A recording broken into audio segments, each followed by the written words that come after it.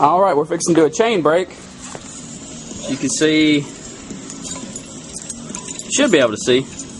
I have a contraption here that has two pieces of number 12 jack chain hooked with carabiners and straps to my uh, my weight bar and to the IronMind harness. And I'm fixing to attempt to uh, snap both pieces of chain simultaneously using the power of my neck and legs. Ready? Let's see.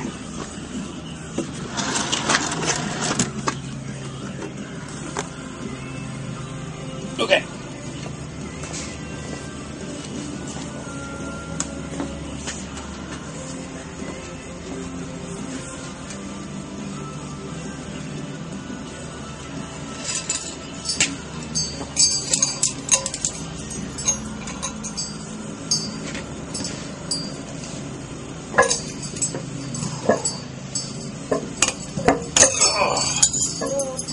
It broke off. All right. Snap two pieces of chain, baby.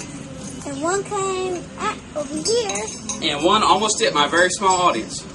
That's why I'm glad she was real far back. Yeah. First one. That's right. Here's some of the evidence. And there's the other part of the evidence. Thank you very much. T Rex out.